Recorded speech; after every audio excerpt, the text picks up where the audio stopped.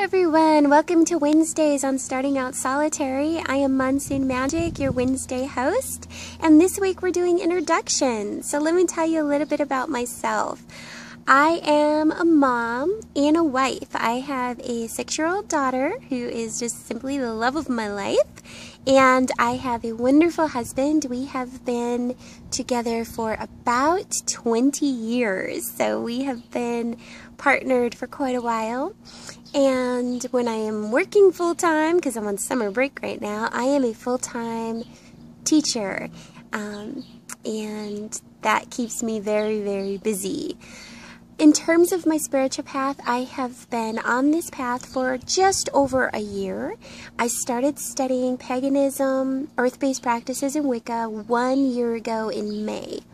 And since then, I have really um, the direction of my path has definitely moved into the um, direction of studying Wicca more specifically. I work with Annie from Mirth and Reverence as part of her Seeker Season of the Seeker program, and I also work with Annie one-on-one in um, one-on-one mentoring, and I have been working with her for the past six months. And her program is Elemental Balancing in contemporary Wicca. So it's been a really, really great opportunity for me to find out more about Wicca from a seasoned teacher and also to really tune in with the elements, learn about the elements, and apply that energy and um, elemental balancing to every aspect of my life. So, in terms of my spiritual practice, definitely the elements are a huge part. In fact, they are a part of everything I do. I have um, daily devotionals in which I align with the elements. Um, they are a part of my prayer, they are part of ritual, they are a part of spell work, they're part of my divination. you name it. I am constantly aligning my energy with the elements and um, just working with getting to know them better and balancing my own energy with that.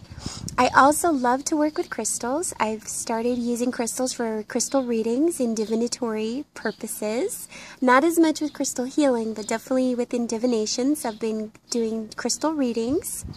I love the tarot and studied the tarot for over a year and um, did a lot of tarot reading on my personal channel.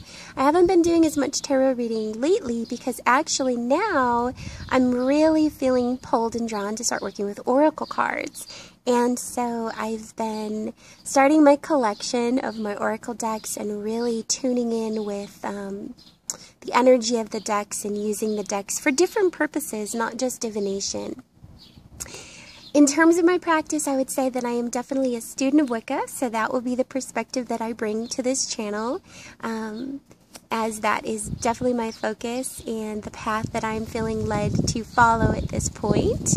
And I am just so, so excited about this new channel. Starting out solitary is such a great opportunity for all of us new pagans. In terms of my path, I am in my infancy, um, starting to take some steps on my own, starting to build my own traditions, but definitely have so much to learn. But I think that that's really the beauty of an earth based practice, whether you follow paganism or any of the paths under the umbrella of paganism.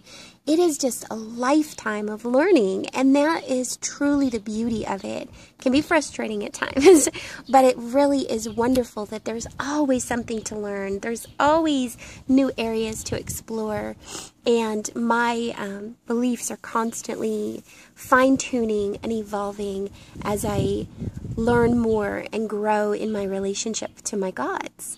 So I am so excited to be a part of this collab. Please, if you have any questions, if you have comments, if you have topics that you want us to cover, definitely comment below and we will fit those in and um, try to meet the needs of our subscribers um, we're in this together. It's a place for new pagans and seasoned pagans to come together and share and grow and learn. Um, if you're interested in my personal channel, I will put a link to that below, and you can check me out in more detail there. And I hope you join me next Wednesday as we continue on this path together. Have a very, very blessed day.